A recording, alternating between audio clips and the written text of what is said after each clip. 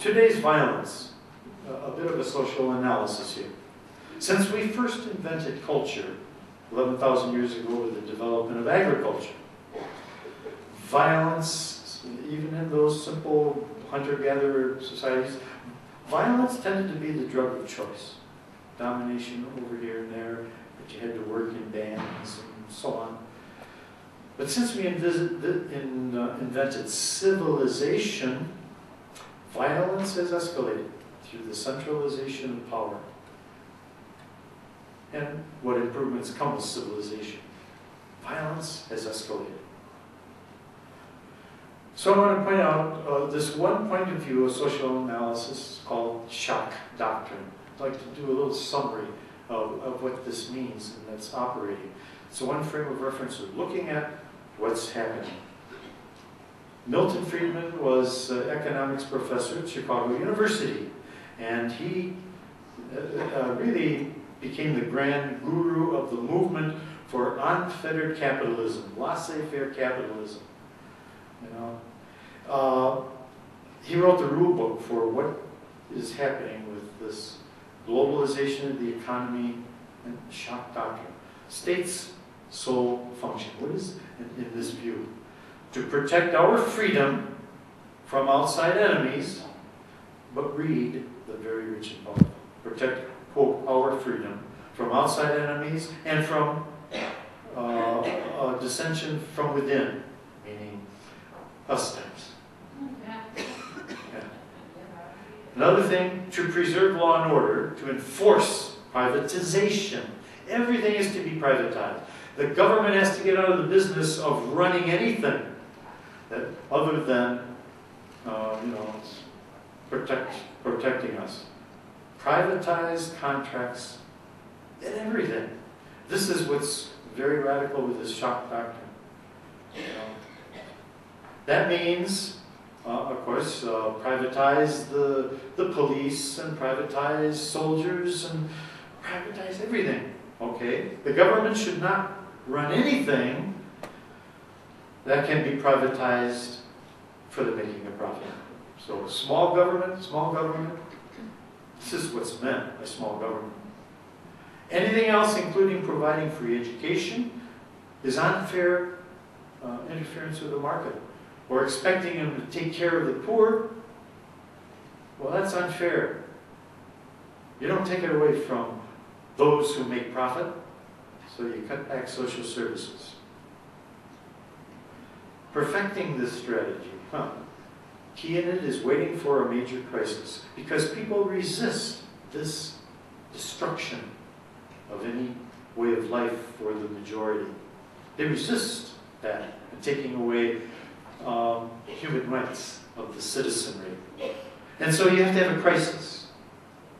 You create a crisis if you can't, you, you seize on any natural one, you create crises with the idea that people get so traumatized with the shock that they can no longer resist. And so key in this shock doctrine is you have a crisis and you you push through all laws and reforms as quickly as you can while people are in shock. This is Milton Friedman. And I'm, uh, you know, I, am feeling rage toward him, and he's my brother. Uh, uh, this is what it's about. And then you quickly make the reforms you made permanent. Because when people kind of come to their senses, and say, what have we done? oh my God, the Patriot Act, what, have, what rights have we just been giving away? It's already in place and reinforced. Uh, he observed that only a crisis, actual or perceived, produces the real change he's pushing for, because people will resist, unless they are in shock. It's a, a variation of Machiavelli's advice that injuries should be inflicted all at once to get your advantage. In the mid-70s, he became advisor to General Pinochet in Chile, the dictator.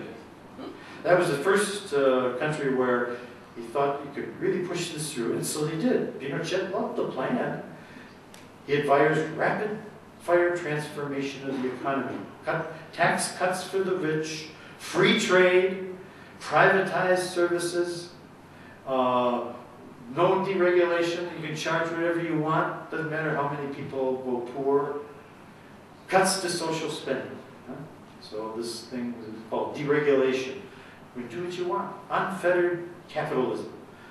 There's a connection between economic shocks that impoverish millions and the epidemic of torture.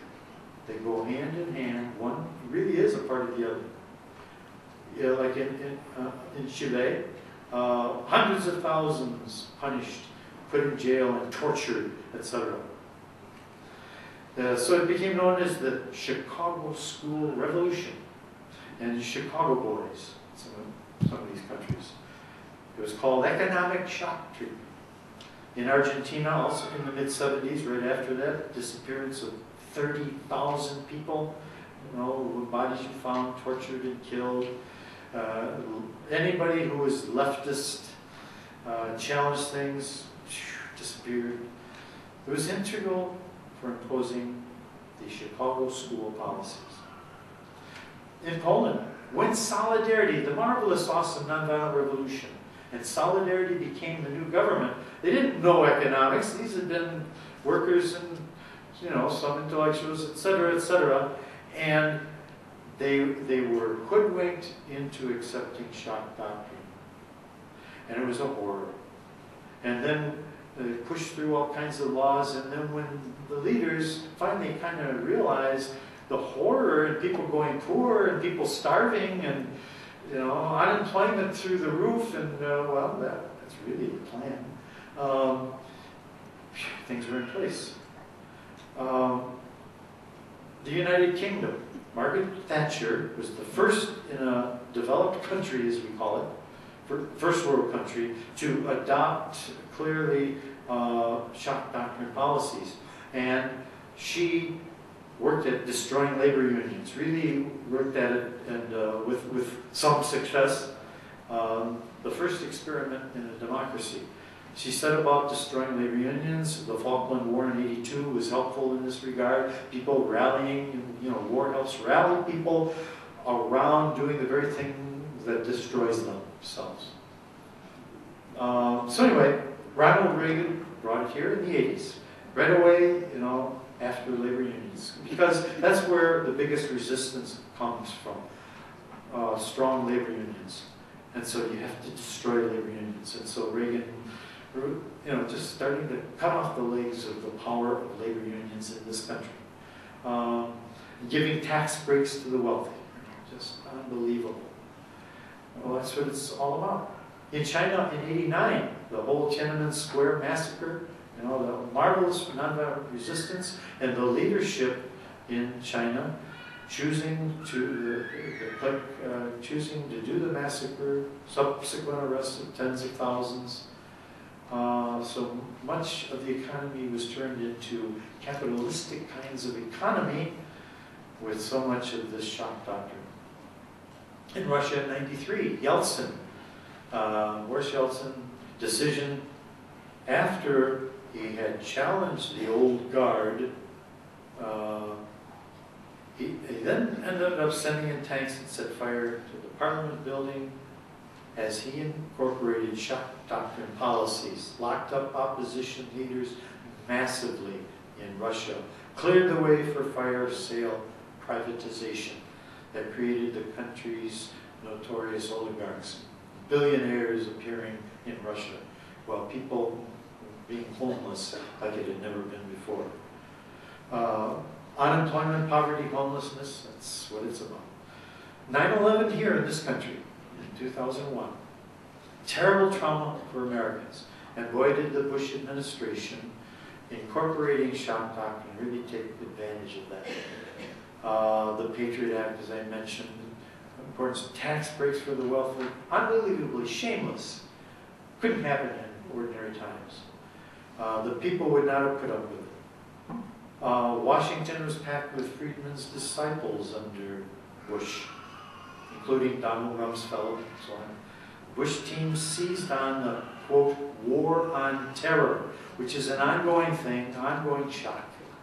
Make sure it's almost completely for-profit venture. The radical economic shock therapy was imposed while this country was still uh, uh, the country of Iraq was still in flames under Paul Bremer. Uh, while we had a, an MPT exploratory team in Baghdad, uh, Johnny McCoy and I, just couldn't get over on the ground. This is months after the U.S. invasion. Nothing was happening. Nothing was getting repaired. There were no local companies being contracted to rebuild anything. Yet we found out millions of dollars in cash given out to all kinds of people that were really a part of this shock doctrine. Uh, to this day, things aren't repaired.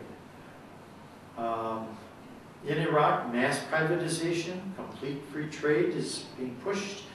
Uh, dramatically downsized government, meaning you privatize all kinds of necessary business. When Iraqis resisted, rounded up, Abu Ghraib is a product of shock doctrine, an integral part of it. There's privatization of military bases. The running of bases is run by private companies. Food services run by private companies. Contractors do the war fighting. There were more contractors than actual soldiers. Why? Wherever you, people can make money, why should the government be doing it, uh, uh, you know, uh, not for high profit?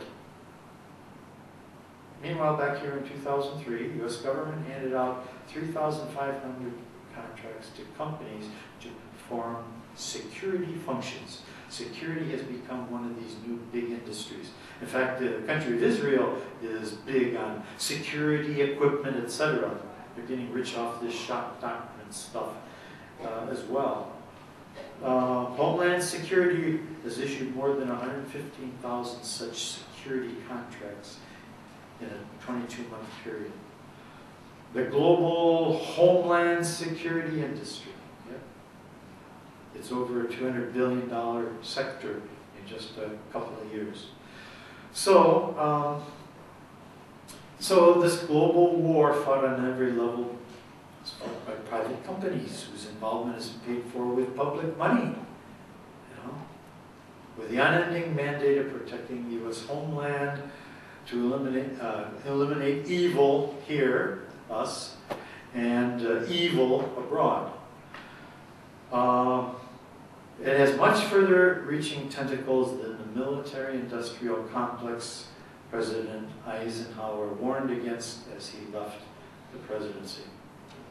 Sri Lanka, 2004, the tsunami, believe shock doctrine stuff. Uh, New Orleans, I'm not so sure that the levees were not bombed, because that is one thing to say the way that, that, that the levees broke, uh, oh, people heard uh, explosions. Uh, well, who knows? Uh, is this just wild conspiracy theory? I ain't so sure. That's all I'm saying. I'm not so sure. But anyway, New Orleans, great opportunity. The rebuilding of schools, it wasn't public schools, it was charter schools because money is to be made. Why should you have public schools uh, when you can really privatize it and make more money, et cetera, et cetera. Trademark demands privatization of everything possible. Government deregulation. Businesses can charge what they want, do what they want. Deep cuts to social spending. Uh, okay, um, anyway, moving on. This is the new paradigm. Um, so, disasters are important. Uh, uh, this, yeah, disasters are necessary. Responding to emergencies is simply too hot in an emerging market to be left to nonprofits. Why should UNICEF rebuild schools when it can be done by Bechtel? So this is the idea. So now wars and ongoing wars and disasters are so fully privatized, they're the new market. You know, this, you can't fail. Disaster is very lucrative. So, um, it's a new kind of an economy under Bush that we're going through. It exists apart from one administration to another. Uh, Obama has inherited this. Uh, in every country where Chicago school policies have been applied over the past three decades, what's emerged a powerful ruling alliance between a very few large corporations, meaning the super rich that run them, and a class of mostly wealthy politicians. Um, you know, I, I always wonder what politicians really understand this shock doctrine and which ones don't. Tea Party people, do they understand the shock doctrine, any of them? It's kind of hard to know. You just know that it's an upper crust in these categories that really make this thing work. Um, it's a system that erases boundaries between big government and big business. Government is big business.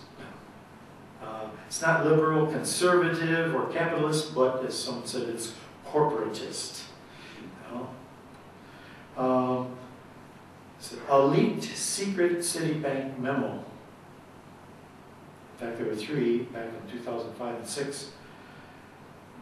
says we know the secret Citibank memo said that in the U.S. there's no longer democracy; it's become a plutocracy a society controlled exclusively by and for the benefit of the top 1%. This is what Citibank memo said. Uh, they now have more financial wealth than the bottom 95 combined. 95% combined. One memo gloated about the growing gap between rich and poor. Of course, their constant concern is the threat that uh, people might demand more equitable share